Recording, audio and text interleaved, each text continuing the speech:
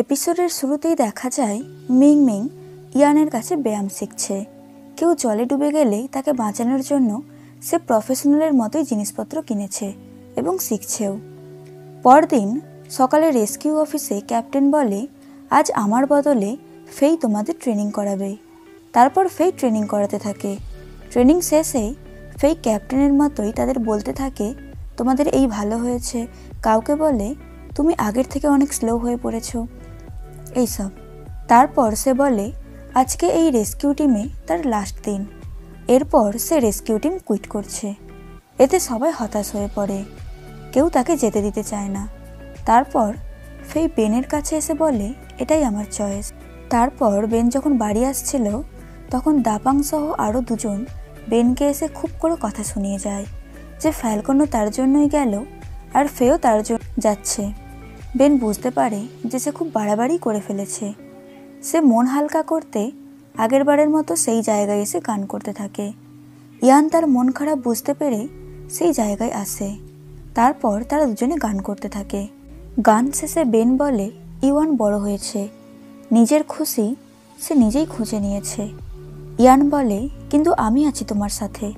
তোমার যখনই দরকার পড়বে, আমি চলে আসব। বলে সে বেনকে কিস করে দেয়। এইভাবে এতদিন পরে তারা রিলেশনশিপে আসে। তারপর বেন ইয়ানকে বাড়ি দিয়ে যায়। বেন বলে, এখন পর্যন্ত আমাদের রিলেশনশিপের চার ঘণ্টা হলো। এই চার ঘণ্টা আমার জীবনের সবথেকে সুন্দর মুহূর্ত ছিল।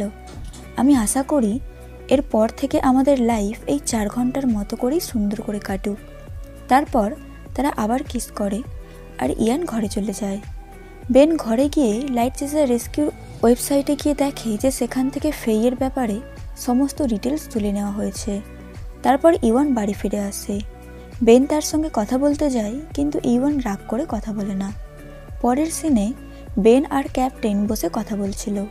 ক্যাপ্টেন বলে, বুঝতে পারছি তোমার এখানে অসুবিধা হচ্ছে, কিন্তু একটু ধৈর্য ধরো, সবই ঠিক হয়ে যাবে। বেন বলে, ফ্যালকন আর ফেই দুজনেই আমার জন্য গেছে। সবাই আমার বিরুদ্ধে যাবে, এটা স্বাভাবিক। সে বলে, আমি চাই আপনি আরও বেশি করে আমাকে কাজ দিন আরও বেশি করে টেকনিক শেখান। আমি চাই আপনি আমাকে আপনার শিষ্য বানান। আফটার অল একদিন আমি আপনার ফ্যামিলি মেম্বার হব। ক্যাপ্টেন তো প্রথমে অবাক হয়ে যায়। তারপর বেন বলে যে সে ইয়ানকে ডেট করছে। ক্যাপ্টেন বলে, তাহলে তো আমার মেয়ের হয়ে তোমাকে আমার স্পেশাল কেয়ার দিতে হবে। তারপর তারা এইভাবে থার্ড ইয়ার্কি করতে থাকে। তারপর দেখা যায় দিং দিং ফেইয়ের ওন্টনের ভ্যানে খুব সুন্দর করে কালার করে ছবি এঁকে দিয়েছে। এর ফলে তার আগের চেয়েও বেশি সেল হচ্ছে। তারপর বাড়ি ফিরে যাওয়ার সময় ফেই ইউয়ানকে বলে যে সে যাতে বেনকে দোষ না দেয়, কারণ সেদিন সবশেষে বেন তাকে বলে যে সে তার টেস্ট নিচ্ছিল। এরপর থেকে যদি ফেই রেস্কিউ টিমে থাকতে চায়, তবে বেন আর বাধা দেবে না। কিন্তু ফেই বলে যে সে যখন ইউয়ানের দায়িত্ব নিয়েছে, তখন সে সেটা পালন করবেই। ফেই বলে যে ইউয়ান খুব ভালো দাদা পেয়েছে, যে সবার আগে তার বোনকে প্রায়োরিটি দেয়। তারপর ইউয়ান বাড়ি ফিরে আসে আর তার দাদার সঙ্গে সব মিটমাট করে নেয়। পরের সিনে দিং দিংয়ের নামে একটা পার্সেল আসে। সেটা তার একটা ফ্যান তাকে দিয়েছিল, যেটাতে লিপস্টিক ভর্তি ছিল। দিং দিং সেটা রেস্কিউ টিমে গিয়ে সবাইকে একটা করে দেয়, স্ত্রী বা গার্লফ্রেন্ডদের দেওয়ার জন্য। তারপর ইয়ান বেনের বাড়ি এসেছিল। বেন তার জন্য খাবার করে আনে। তারা কথাই বলছিল, তখন বেনের কাছে একটা এস এম এস আসে যে দুটো বাচ্চা হারিয়ে গেছে, তাকে এক্ষুনি মিশনে যেতে হবে। গাড়িতে আসতে আসতে দাপাং বেনকে সরি বলে তার আগের বিহেভিয়ারের জন্য। তারপর তারা ভিকটিমের বাড়িতে আসে ইনফরমেশান নেওয়ার জন্য। ক্যাপ্টেন বলে, আমি তোমাদের টিমের লিডার করলাম বেনকে, আর তাকে সাহায্য করবে দাপাং। এরপরেই তারা সমস্ত টিমেদের নিয়ে দুজন ভাই বোনকে খুঁজতে বেরিয়ে পড়ে। বড় দিদি থিয়াং হলুদ রঙের কোট পরেছিল। কিছু দূর গিয়ে বেন অনেক নিচে হলুদ মতো কিছু একটা দেখতে পায়। তারা নিচে যায়। ওই হলুদ কোট পরা মানুষটা অন্যজন ছিল। একজন ট্রাভেল করতে এসে সেখানে হারিয়ে গিয়েছিল। দশ দিন পর তার মৃতদেহ পাওয়া গেছে। সেখান থেকে উঠে বেন বলে, অনেক বৃষ্টি পড়ছে। তারপরেও সন্ধে হয়ে এসেছে। তাই সবাই রেস্ট নিয়ে নাও। কিন্তু থিয়াংয়ের বাবা বলে যে তাদেরকে খুঁজে বের করতে হবে। বেন তখন উপায় না দেখে সবাইকে বলে, তোমরা রেস্ট নাও, আমি একটু এগিয়ে গিয়ে দেখি। কারণ, যেহেতু সে টিম লিড করছে, সে সবার প্রাণ একসঙ্গে বিপর্যয়ে ফেলতে পারে না। কিন্তু সমস্ত টিমমেট দাবাং সহ সবাই বেনের সঙ্গে যেতে রাজি হয়। এইভাবে অনেক খোঁজাখুঁজির পর, তারা ছোট ভাই পেংকে খুঁজে পায়। তার হুঁশ আসতে সে বলে, তার দিদি তার জন্য খাবার আনতে গেছে। কিছুক্ষণ পর থিয়াংকেও তারা খুঁজে পায়। তারপর তাদের হসপিটালে ভর্তি করা হয়। পরের সিনে দিং দিং এক্সারসাইজ করছিল। সেখানে দাপাংয়ের বউ আসে আর বলে, আগের দিন দিং দিংয়ের দেওয়া লিপস্টিক দিয়ে তার ঠোঁটে ইনফেকশন হয়ে গেছে। তারপর আরও অনেকে এসে বলে যে তাদের গার্লফ্রেন্ডের ঠোঁটেও সেম অবস্থা। তারপর দিং দিং অফিসে গিয়ে ডাস্টবিনে সেই পার্সেলটা খুঁজতে থাকে। মিংমিং এসে বলে, কেউ তার কমিকে খারাপ কমেন্ট করেছে। তারপর দিং দিং বলে, এগুলো নিশ্চয়ই একই মানুষের কাজ ওই পার্সেলটার অ্যাড্রেস ধরেই তারা একটা জায়গায় পৌঁছে যায়। দিং দিং তার পুরনো বন্ধু সুয়ানকে সেখানে দেখতে পায়। কিন্তু সুয়ান তাদেরকে দেখতে পেয়েই দৌড় দেয়। তাই এরাও তার পেছনে দৌড়ায়। কিছুক্ষণ পর দুজনে দুদিক দিয়ে সুয়ানকে ধরে ফেলে। সুয়ান বলে, সেই দিং দিংয়ের কমিকে খারাপ কমেন্ট করেছে। আর তাকে ফেক লিপস্টিক পাঠায়। দিং দিং কারণ জানতে চাইলে সে বলে, সে ছোটবেলা থেকেই তারা ফ্রেন্ড তারা সব কিছু একসঙ্গে শিখেছে, একসঙ্গে করেছে। তবুও দিন দিন কীভাবে এত ভালো কাজ পায়, আর সে পায় না। মিংমিং তখন বলে যে সে তার বস। দিং দিংয়ের প্রতি হিংসা না করে সে যদি নিজের কাজ ঠিকঠাকভাবে করে, তাহলে সুযোগ ঠিক চলে আসবে। আর বলে যে সে দিং দিংকে আরও বড় প্ল্যাটফর্মে নিয়ে যাবে। দিং দিংয়ের যখন আরও ফ্যান বাড়বে আরও অনেক বড় কমিক আর্টিস্ট হয়ে যাবে, তখন তার একটা খারাপ কমেন্টে দিং দিংয়ের টিকিটিও সে ছুঁতে পারবে না। বলে সে দিং দিংয়ের হাত ধরে সেখান থেকে নিয়ে চলে আসে।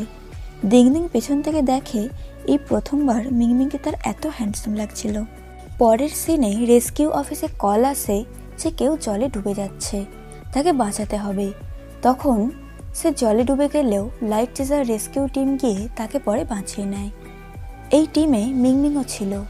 জলে অতক্ষণ থাকার পর তার বমি বমি ভাব করছিল। তার এই অবস্থা দেখে তার টিমমেটরা তার উপর হাসছিল।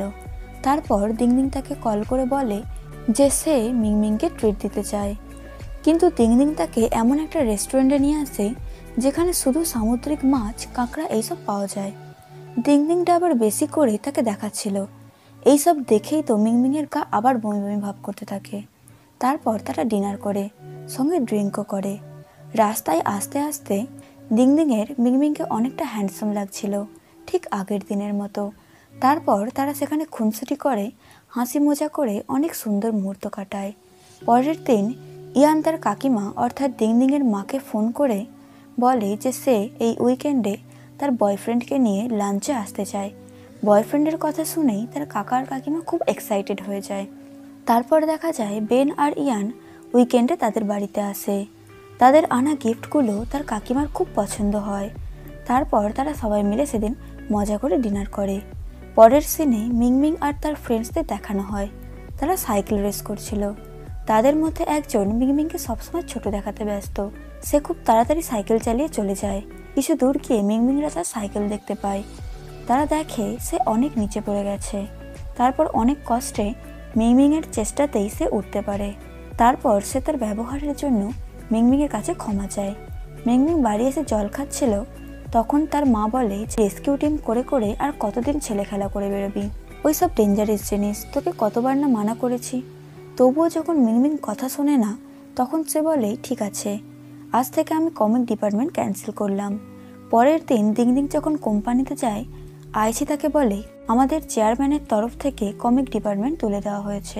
তোমার কমিকের কপিরাইট এখন তোমার হাতে, আর কন্ট্রাক্ট ব্রেক করার জন্য আমরা তোমাকে টাকা পাঠিয়ে দেব। বাড়ি এসে দিং দিং মিংমিংকে কল করে।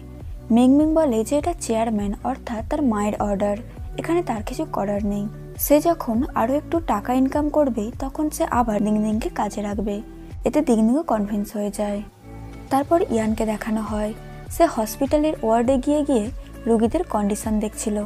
সে দেখে একটা ওয়ার্ডে একটা বেডের বৃদ্ধ মহিলা নেই।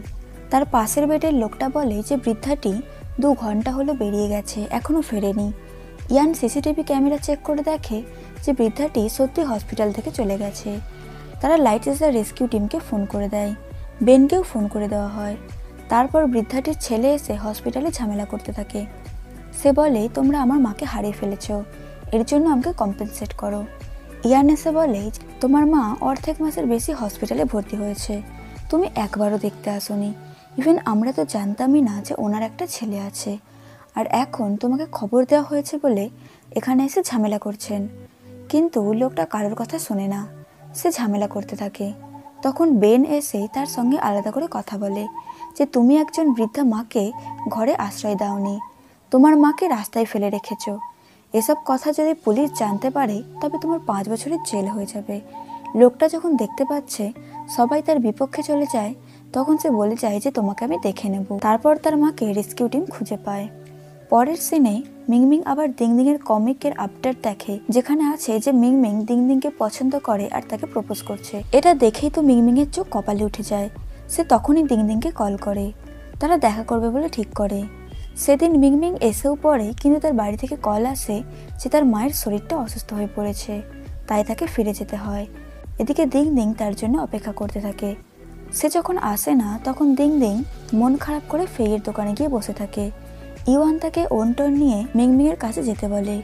ইওয়ান তাকে বলে যে সে দিং দিংয়ের কমেন্ট দেখেছে। সে আগে থেকেই জানতো যে দিং দিং মিংমিংকে পছন্দ করে। কিন্তু দিং দিং তা কিছুতেই মানতে চায় না। ইওয়ান বলে, সেটা তুমি তোমার মনকে জিজ্ঞেস করো। দিং দিং তখন মিংমিংয়ের সঙ্গে তার আগের কথাগুলো ভাবে। কয়েক সেকেন্ডের মধ্যে সে বুঝতে পারে যে সে মিংমিংকে পছন্দ করে। পরের সিনে যে বৃদ্ধার ছেলে, তার সার্জারির আগে তার সমস্ত টাকা সম্পত্তি নিজের নামে লিখিয়ে নিতে চেয়েছিল।